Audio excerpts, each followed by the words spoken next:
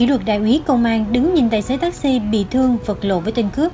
Chiều ngày 17 tháng 5, Trung tướng Nguyễn Hải Trung, Giám đốc Công an thành phố Hà Nội cho biết đơn vị vừa chỉ đạo Công an huyện Thanh Oai ra quyết định kỷ luật cảnh cáo đối với đại úy Nguyễn Thanh Lâm, cán bộ công an xã Cự Khê, huyện Thanh Oai, Hà Nội.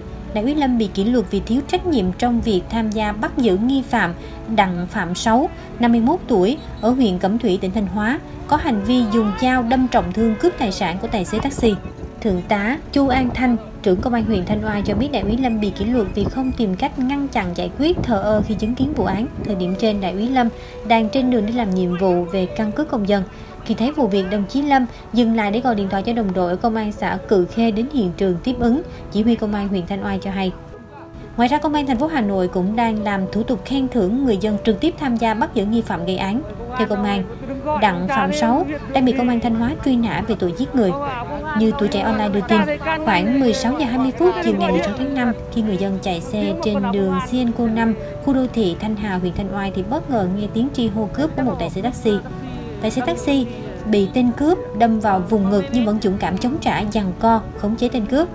Sau đó, người dân và công an đến và bắt giữ tên cướp. Tối cùng ngày trên mạng xã hội xuất hiện đoạn clip ghi lại thời điểm nam tài xế taxi khống chế tên cướp. Trong clip dài 1 phút 30 giây, có thể thấy nam tài xế taxi mặc áo màu trắng dính đầy máu đang cố vật lộn, ghi đè tên cướp và liên tục hô giúp em với. Dù xung quanh rất nhiều người đứng xem nhưng chỉ có một người đàn ông đến giúp, còn lại đứng quay clip. Đáng chú ý trong clip còn xuất hiện một người đàn ông mặc quần màu xanh giống cảnh phục công an nhưng đứng bấm điện thoại mà không vào can ngăn vụ việc. Chứng kiến vụ việc này, người quay clip bức xúc cho rằng người đàn ông là công an nhưng không tham gia giúp khống chế tên cướp. Ông này mặc quần áo công an mà chả thấy căng ngăn gì, chỉ thấy đứng gọi điện. Người quay clip nói, qua xác minh, công an xác định clip trên là diễn biến của vụ án cướp tài sản taxi xảy ra tại huyện Thanh Oai, Hà Nội. Và người mặc cảnh phục đứng dùng điện thoại là đại úy Nguyễn Thanh Lâm, cán bộ công an xã cửu Khê, huyện Thanh Oai.